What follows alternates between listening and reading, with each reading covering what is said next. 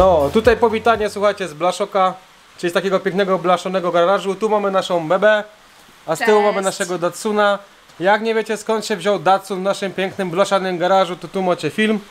Możecie pooglądać. Koniecznie oglądnijcie. Jest tego sporo, to jest takie, wiecie, troszeczkę z przymrużeniem oka, ale na końcu mówimy tam, że będziemy z nim coś robić, będziemy kontynuować pracę.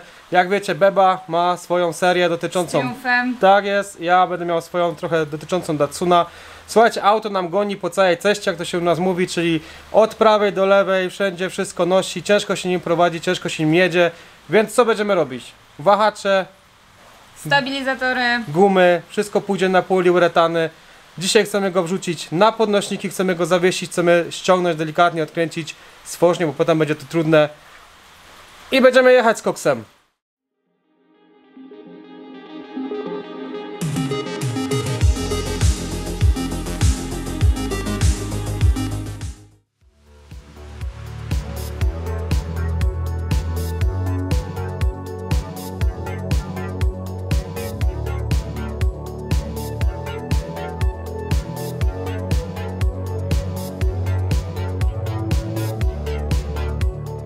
Chodźcie, zobaczcie, co tu się w ogóle stało, nie? Nie wiemy, ile to auto te części już ma na sobie, ale tak obstawiamy, że przynajmniej zdychę.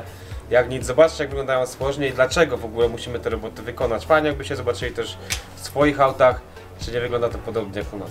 Główną sprawą tej roboty jest to, że mamy wywalone stworzenie. Jak widzicie, on jest w ogóle tu jakiś, nie wiem, podtopiony, nie wiem, co się z nim stało. Ale auto całe skacze, wszystko się tutaj rusza, jak mu się żywnie podoba. Dwa, na stabilizatorze gumy nie istnieją. Generalnie to jest też jeden z powodów, dla którego wszystko na tej zawieszeniu cyka. E, na końcu wahacza gumy też są wywalone, cały wahacz idzie troszeczkę krzywo. A jak już tutaj jesteśmy, no to co? Zmienimy sobie też końcówki drążków przy okazji na szpeję, bo czemu by nie. Możliwe, że wymienimy jeszcze coś, coś z zawieszenia, jak już też jesteśmy, jak widzicie te gumy są całe popękane, obstawiam, że to nie jest pierwszej nowości. Jedyne co tu było zrobione do tego czasu, to jest czerwona guma poli na reakcyjnym, tutaj z tyłu. E, bo tej gumy w ogóle nie było i auto w ogóle po prostu zachowywało się dziwnie, wszystko tam klepało. No i mamy do zrobienia jeszcze e, zaciski hamulcowe, mamy większe, więc może zrobimy jeszcze upgrade hamulców przy okazji.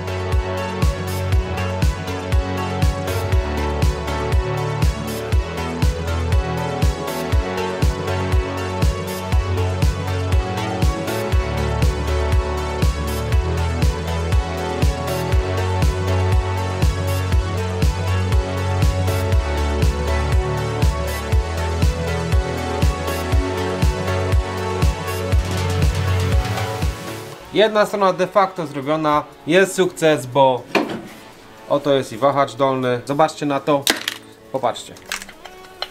On jest cały suchy, ale to jak on chodzi, po prostu, o, panie, takie o, rdzawe tutaj.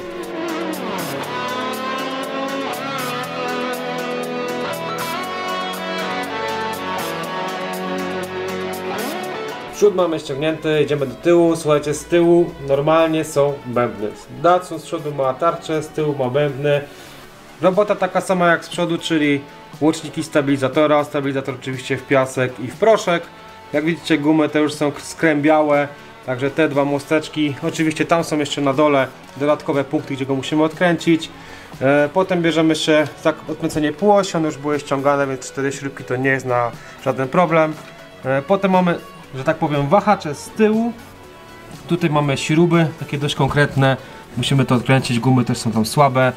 Następnie mamy wąs stabiliz- e, dyferencjału plus gumy dyferencjału. Jak widzicie, gumy no tutaj widać gołym okiem, że są koszmarne.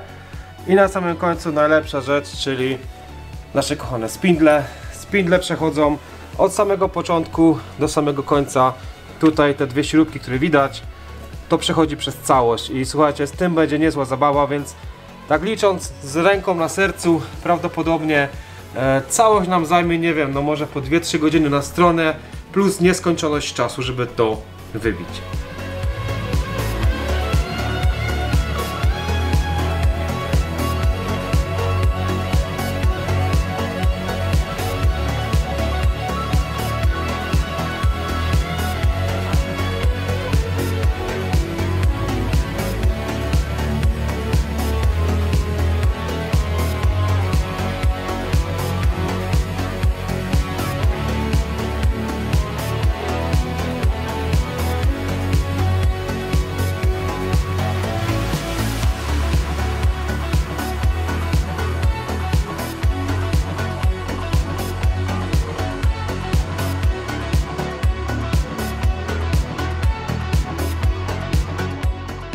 Dyfer na dole. Wszystko elegancko poszło. Tutaj dwie śrubeczki, jedna, druga, z przodu też dwie śrubeczki. Proszę Państwa, gdy wszystkie samochody miały tak dyfry montowane, Jak patrzę, to chyba wolę z Dat- w Datsunie ściągać dyfer niż w BMW. Zgadzam się. o, tam jest pan, co pracuje. Zobaczcie go. Zjadłeś kiełbaskę, to zapierdalaj teraz. As curva para o a Catamarco.